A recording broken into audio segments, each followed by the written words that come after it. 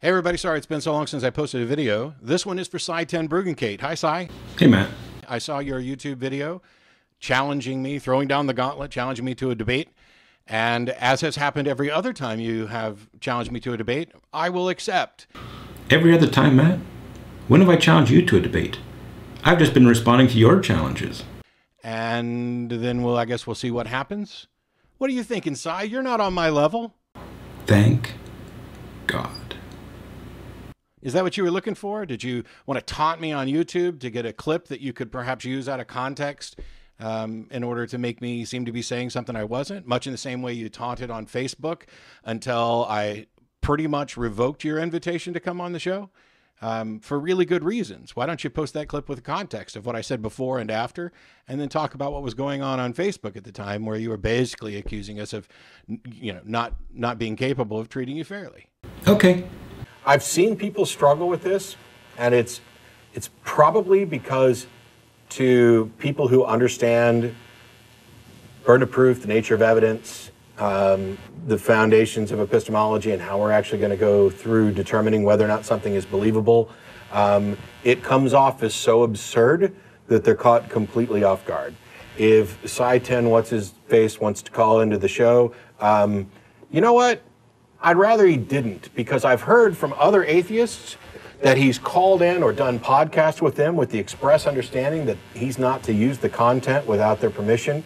Um, and then he's gone and edited things and thrown it on DVDs and then sold it to make money. And if I don't get to make money off this, nobody's making money off this. So Sye isn't going to be uh, very pleased if he calls into the show. Okay, now that was a clip in context. Clearly, Matt does not want me to call into the show. But why not? Because he's afraid I'm going to edit it, put it on a DVD, and sell it? Matt, where is the evidence of that? But listen to what he says right after that. Now, if he wants to, if he wants to have a public debate at some point, okay. As soon as he gets up and stands up and acknowledges that he's engaging in presuppositionalist apologetics, uh, I'm going to eat his lunch, and then we can talk about something else. Matt challenged me to a debate. You see the date on that clip? June 3rd, 2012. And what did I do? I sent him an email. I posted on their wall. I sent them a private message. And yes, Matt did respond.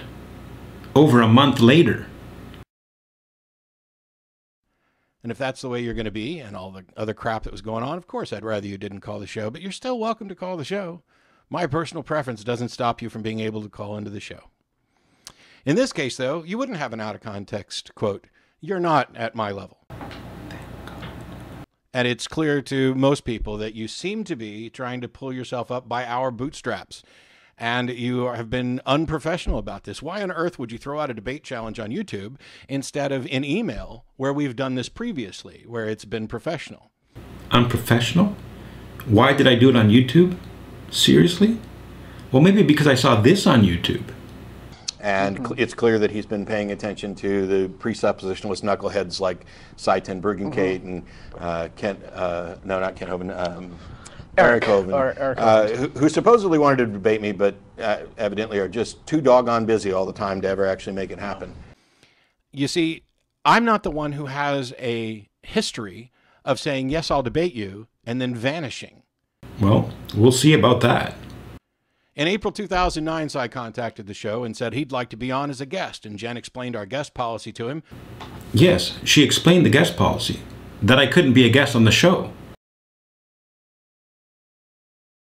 But told him that he's more than welcome to call on the show. We'd love to have him call on the show, and if he told us what day he was calling in, we would set aside a line for him. Actually, that's not it at all. I wasn't told that I would have a separate line. I was told that I would be bumped to the front of the line, here, and here. Which is more than we do for, you know, regular callers. But this wasn't good enough for Sye. My impression is that uh, this did not please his ego and that he didn't want, he wanted to appear as a special guest. Not a special guest, Matt. Just a guest. Uh, some unheard of out of the blue, definitely at the time, probably still a little bit now, wanted to be on as a special guest and didn't want to be like all the other callers. Again, Matt, not a special guest, just a regular guest, so that you couldn't do this. Well, but you guys don't have any explanation. Goodbye. And that's why I didn't want to be a run of the mill caller on your show, because you could hang up on them on a whim. And he had a back and forth with Jen where she pointed out how it seemed dishonest to say that his primary purpose was not to promote theism when he's there representing a website called Proof That God Exists. Maybe he should look up theism. Okay, let me see if I got this straight. I asked to be a guest on the show. Then I'm told I can't be a guest on the show if my primary purpose is to promote theism. Then I email a response saying that my primary purpose is not to promote theism, and I'm still not allowed to be a guest on the show. Now, why couldn't I be a guest? Why did he want me to call in? Maybe so he could hang up on me if things got rough? Um, but anyway, this back and forth with Jen went on. And then on every occasion when she replied to him, she once again reiterated that she would love to have him call into the show and that he was welcome to call into the show and that we would set aside a line for him to call into the show. No, not a separate line. I was going to be bumped to the front of the queue. That's it. And he replied by telling Jen that clearly she wasn't integral to the show. Again, no. I said that it appears that she's not integral to the show. I didn't know. That she should forward the emails to me. I'd already seen all of them, they were being copied to our entire list. Jen was responding on behalf of all of us. But she should forward them to me because maybe I wouldn't play word games that would disqualify him from appearing on the show. That's right. It's a big word game. I can't be a guest if I promote theism, but I can call into the show. What's the difference? Why would I have to call in? So that he can hang up on me whenever he wants. With a guest, it would be more obvious what he was doing. Now, how delusional or dishonest do you have to be to have somebody say, We'd love to have you on the show. We welcome you on the show. Please call into the show. I've seen your website. Please call into the show. We'll set aside for line for you to call into the show. And then claim that they're playing word games to disqualify you from appearing on the show. How many ways can you say, Yes, call us? And have the person still go, Well, you're playing word games to disqualify from me from appearing on the show. And I replied to him and pointed out that Ray Comfort had been on the show, and Matt Slick had been on the show, and others had called in, and they all called in, and none of them were this special guest category that Sye seemed to want. He didn't reply to that email, and years went by. That's right. I didn't reply.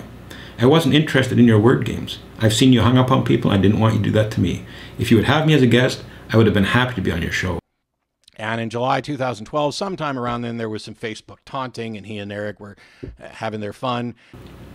Okay, so you hadn't heard from me for years until some Facebook taunting in July 2012. Matt, what about the video that you posted in June 2012 where you called me out for a debate? Now, if he wants to, if he wants to have a public debate at some point, okay. As soon as he gets up and stands up and acknowledges that he's engaging in presuppositionalist apologetics, uh, I'm going to eat his lunch, and then we can talk about something else. And what did I do after that? I sent Matt an email. I posted on the Atheist Experience wall. I sent them a PM. And I didn't hear anything for over a month. And people were saying, hey, why didn't you call into the show? And one of the comments that I recall him making, although I haven't looked it up, so this is paraphrasing, is that he didn't call into the show because he didn't have any good reason to think that he would be treated fairly. No, Matt, I just didn't want to be one of the callers that you could just hang up on. Well, but you guys don't have any explanation. Goodbye. And in an email response to him, I pointed out um, that this isn't actually true and that he should perhaps talk to Ray Comfort, who had nothing but nice things to say about the way he was treated on the show. I don't have that email. Produce that email, please, Matt. I don't have it. And Matt Slick called in more than once. Each of these guys got more than 45 minutes. We had good discussions. I enjoyed it. Yet that didn't seem to be a good enough reason, and people weren't buying it once we talked about that. So he emailed me in July of 2012. No, Matt. I emailed you on June 4th, the day after you went on your show and called me out for a debate.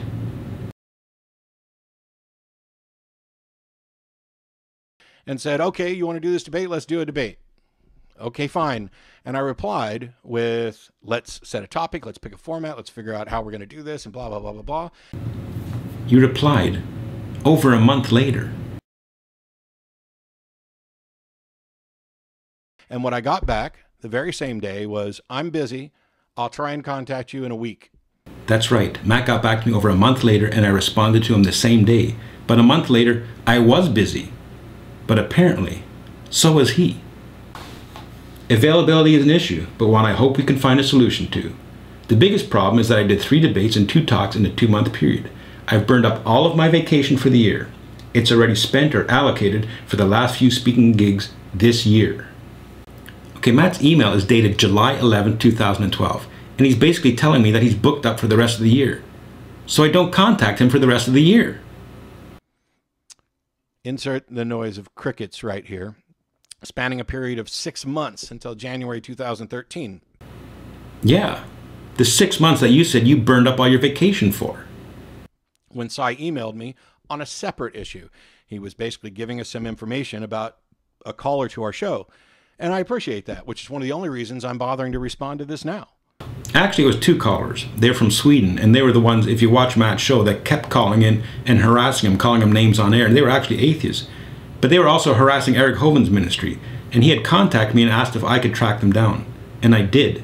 And I passed that information on to Matt. I asked if he was interested in having that information.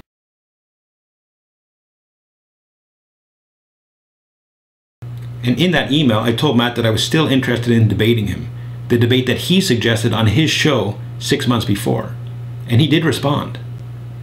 Matt said he was interested in the information on those callers and would try to get back to me. But what did I hear? For over a year. That's right. And then what did I hear? And cl- it's clear that he's been paying attention to the presuppositionless knuckleheads like Sye Ten Bruggencate and uh, Kent, uh, no, not Kent Hovind, um, Eric, Hovind, or Eric uh, who, who supposedly wanted to debate me, but uh, evidently are just too doggone busy all the time to ever actually make it happen. You see, that's why I responded, man. You called me out after over a year of silence. But in that email, he said also that he's still willing and interested in doing the debate. Okay, that's January 2013. I said, great. No, Matt, you didn't. You never got back to me.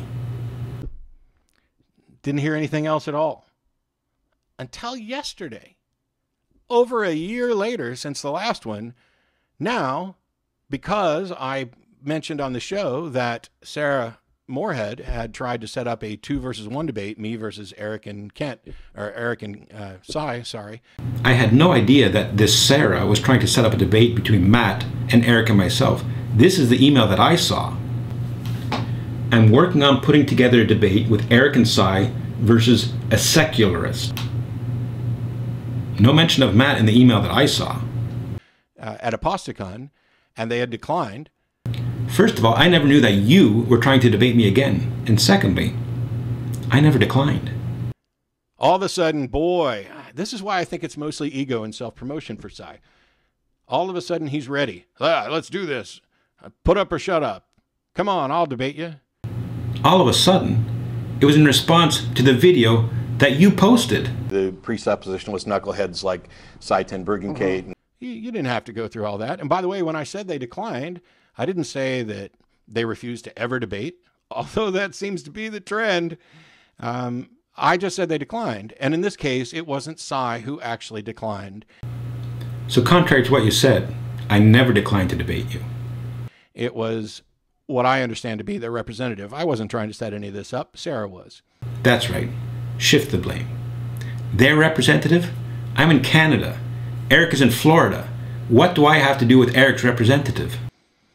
So you're not at my level, Sye. Thank God. But I will stoop down to yours and engage in little YouTube banter, maybe some Facebook taunting, and I will once again accept your challenge to debate. That's great, man. Let's debate. I'm tired of your nonsense. and we'll see what happens. However, because of your track record, you've contacted me, I've replied, you vanish. You contact me, I reply, you vanish. You contact me, I reply, you vanish. Well, the record's clear now. I'm done talking to you. Sarah Morehead has been authorized to set up this debate. You can work with Sarah to set it up. You can have your representative work with Sarah to set it up. I've got five debates over the next two weeks. I've got plenty of other things to do that don't involve pandering to somebody who has a track record of seeming to just want to leech a little publicity off of a bigger fish.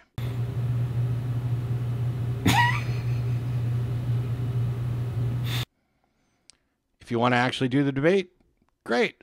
I'm all in. Fantastic. If you don't, man, just stop because it's starting to look really bad.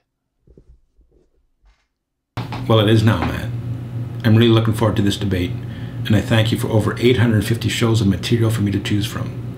It's an embarrassment of riches. See you in June.